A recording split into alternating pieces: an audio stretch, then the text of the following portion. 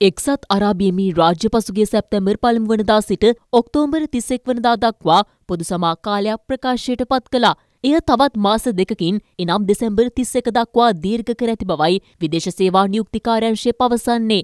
පොදු සමා කාලය තුළ ශ්ලාංකිකයන් අටදහස් පන්සිය දහත්තුන් දෙනෙකු සේවා ලබා ගැනීම සඳහා ඩුබයි කොන්සල් ජෙනරාල් කාර්යාලයට පැමිණ ඇති බවද එම කාර්යංශය පවසනවා. අලුතෙන් ගමන් බලපත්‍රු ලබා ගැනීම තාවකාලික ගමන් ලියකිවිලි අවසරපත් ලබා ගැනීමාදී සේවාවන් ඒ අතර වෙනවා. ශ්‍රී ලංකාවට පැමිණීම සඳහා සහන පදනම මත ගුවන් ටිකට් පත් එක්දහස් එකසිය හැත්තෑ පහක් කොන්සල් ජෙනරාල් කාර්යාලයේ පිහිටුවා ඇති කවුන්ටරේ මගින් ලබාගෙන ඇතැයිද කාර්යංශය පවසනවා. එක්සත් අරාබියමී රාජ්‍ය නිකුත් කරන පිටවීමේ සහතිකය ලබාදීමටද කාලයක් ගත වෙයි. එබැවින් වළංගු ගුවන් ගමන් බලපත්‍රයක් නොමැති හෝ ඒ තමා සන්තකයේ නොමැති ශ්‍රාංකිකයන් හැකි ඉක්මනින් තාවකාලික ගමන් ලිය ලියකිවිලි අයදුම් කිරීම සඳහා පැමිණෙන ලෙස ඩුබයි කොන්සල් ජෙනරාල් කාර්යාලය ඉල්ලා සිටිනවා.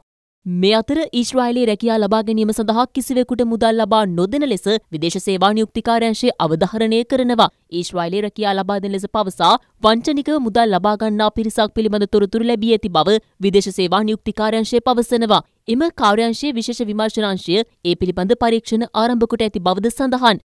මේ අතර ඊශ්‍රායිල සාත්තු සේවා රැකියා හිමි වූ එකසිය තිස් නවවන කණ්ඩායමට ගුවන් ටිකට් පත් ලබාදීම ඊයේ සිදු කෙරුණා. මේ වසර තුළ මෙතෙක් ඊශ්‍රායිලයේ සාත්තු සේවා වෘත්තිකයන් ලෙස නවසිය විසි නව දෙනෙකු පිටත්ව ගොස් තිබෙන බවයි කාර්යංශය තවදුරටත් සඳහන් කරන්නේ.